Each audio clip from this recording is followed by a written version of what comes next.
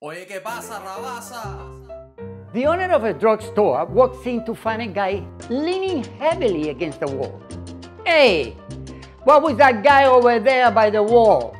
Well, he came here this morning to get something for his cough.